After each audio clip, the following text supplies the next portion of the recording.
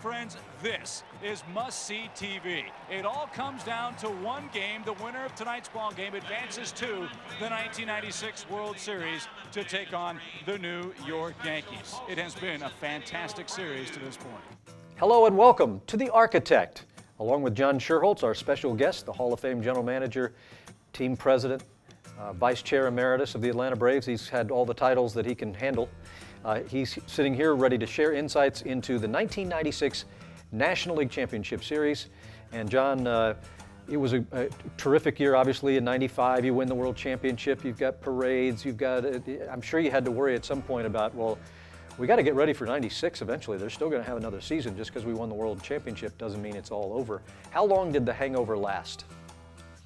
Uh, reasonable length, I'd say. I mean, there was it was worthwhile celebration to have and joyfulness that we all shared in. Everybody around the organization shared in that. And sooner or later, it's time to get back to work. And the great thing about our guys, and again, the leader Bobby Cox and his coaching staff saw to it that when the first day in the spring training that our guys show up, they're ready to roll. They're ready to get back to work. They're ready to try to be the champions of the league again and be world champions again the following year. Did you feel like you needed to somehow improve the club? What was your, your posture in terms of roster moves and trades in the offseason? Well, as I mentioned earlier, you always, every general manager looks for a piece like Mike Devereaux, we talked about earlier. Uh, you find a guy like that you believe fits right in and, and, fills the void that you need or a weakness that you might have or strengthens you better than you were. And uh, that's what you do. That's, that's what your job is, to structure the roster so that when the manager has to make moves, he's got the right kind of talent and the right person to make that move with. Interesting that you put those together, the right talent and the right type of person, because both are serious considerations, aren't they? They are very serious considerations. You, you go out to get a guy who has good talent, uh, you don't know his makeup well enough, uh, you could be burned. You go out and get a guy who has good talent, or, or not, maybe not quite as good a talent as the, as the dominant player, but his makeup is known to be great. He's a team player, he's a professional, he's a winner, and that's the guy you want wearing your uniform when you get to the playoffs. Did you almost feel like your team was turning into a machine now, especially as you watched 96 unfold and you didn't really have any noticeable hangover, at least in terms of the regular season, win 96 games, John Smoltz wins the Cy Young, and you just cruise through, win the division by eight games over Montreal. So it was just business as usual. It felt. Did you start to feel like, well, this is just who these these guys are? It's it is it is who they were, and and they were not machine-like, but they were had the the rhythm of a machine, and they were constant, and they picked each other up, and where there was a weakness, somebody stepped in and made a strength out of it. Uh, that's what our team did. That's what our scouts did to find players to help us get stronger. And that's what you need to do if you're going to continue to make steps forward each and every year and try to be world champions as often as you can be. So you make it all the way to the playoffs, surprising nobody.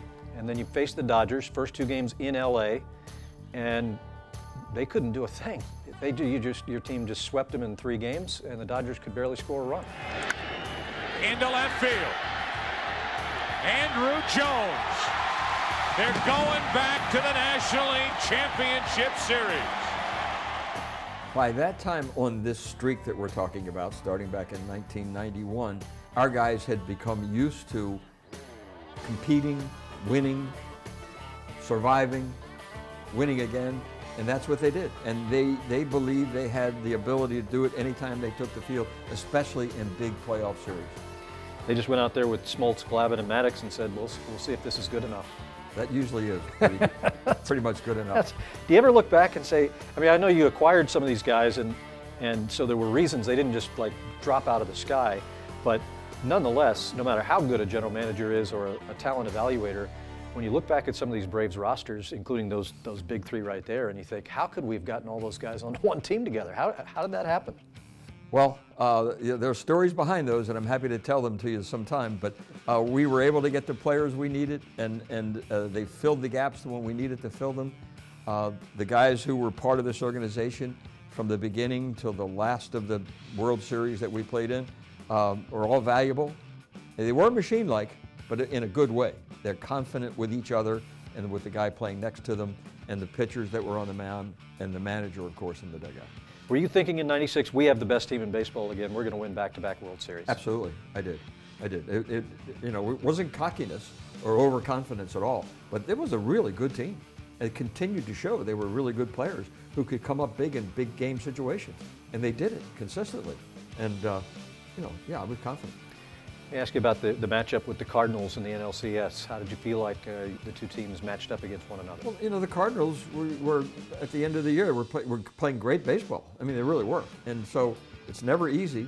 You know, the Cardinals' legacy, the, the organizational legacy, their, their history and all of that, uh, you know, you, never, you can't take anything for granted. You can't just say, oh, well, we, are we're hot and we're going to take, any, take on anybody who shows up in the other dugout. Uh, that, was, that was a different feeling in that series. So game one, uh, the Braves take it four to two behind John Smoltz. So that's that's a great start for the Braves. Then you come to game two, where once again at home, the Braves fall to the Cardinals eight to three. So they did what every team wants to do when they go in for the first two games of a best of seven, and that is steal one of the two. They go home, they stay hot. Game three, Cardinals take it 3 2 to go up in the series. Game four, Cardinals take it 4 3. All these close one run games, very well played, tight pitching, good pitching. But the Braves are suddenly looking around, and it's three games to one with three games to play, including one more in St. Louis. What did you think? It didn't feel good.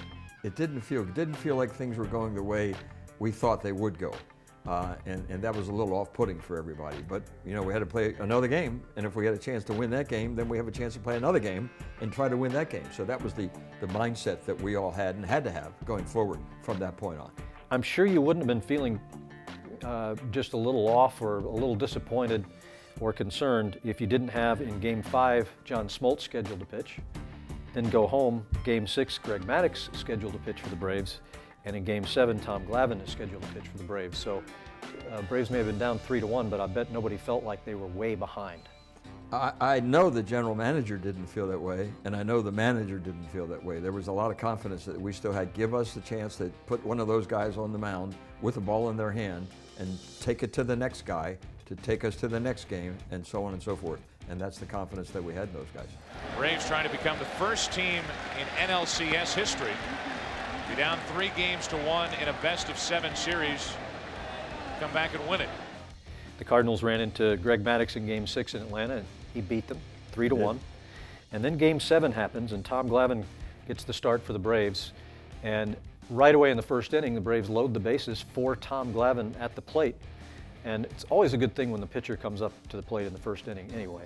Always a good thing when the pitcher comes up who was once a hockey player and was drafted by the NHL because he was such an outstanding hockey player and a competitor and has eye-hand coordination and likes to take batting practice. And Tommy was up there at the right time. Into left field. Can't, can't get it. That will empty the bases. Glavine heads for third. Six to nothing Atlanta. You know, we really haven't even talked through uh, these episodes, The Architect, much about the hitting abilities of, of, your pitchers, but the Braves were so well known, and those guys were so competitive against each other. They took a lot of pride in their hitting, and they helped themselves with a lot of those gaudy won-loss records that the Braves forged and those future Hall of Fame pitchers forged were due to their own work with the bat. Yeah, they were, they, they, they were professional about it. Uh, they had confidence in their ability, and they believed in themselves when they were up to the plate or on the mound. Well, the Braves jumped out obviously to a, a, great start. They go on to win Game Seven by a final of 15 to nothing. That, despite the fact that you had lost Jeff Blauser early in the game to a hit batsman, he was not going to be able to play the rest of the NLCS, uh, which was almost over anyway, or in the World Series, and did not play in the World Series. So I want to ask you about Blauser here in a moment, but it's worth noting the 15 to nothing uh, victory by the Braves in that game, the largest margin of victory in a shutout in Major League Baseball postseason history, breaking the record the Braves had set two games before where they won 14 to nothing. Here comes Lemke. He'll score. Over to third is Jones. Safe. It gets away. Chipper Jones will score, and it's 8 nothing Atlanta. Lopez. Deep center. 10 to nothing Atlanta. Hit a ton to left. 13 to nothing Atlanta. McGriff gets into one to deep right field. Mabry back.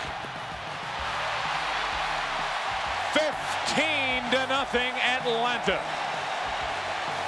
That's pretty incredible, though, to have, to have a couple of games like that, and it's certainly easy on the, the uh, cardiac situation for any of the rest of us who are watching the games. It is. 0-2 to Blauser. That hit him on the head. And it looked like the right hand or the right elbow is plunked by an inside fastball. Blauser going down. Were, were you concerned? Now you you had won the National Yeah. League Championship Series, but were you, were you concerned that that was a big loss, or did you think you had the people it was a big loss help? for me. Jeff Jeff was a quiet guy, but tough as nails competitor.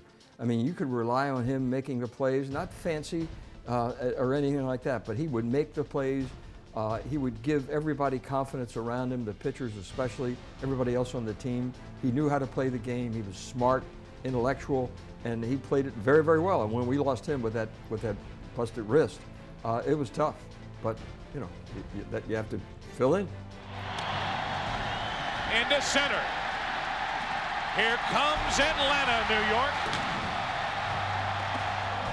The Atlanta Braves were down three games to one. They rallied to win games five, six, and seven. And they are headed back to the World Series to try and repeat. Well, you win the fourth pennant in the last five completed season, and the dominance would continue throughout the rest of the 90s. That's just 96. We've got one more to go.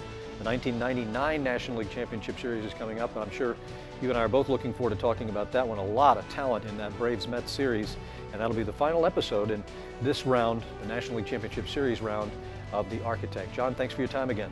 Thank you, Jim. And thank you for watching here on The Architect.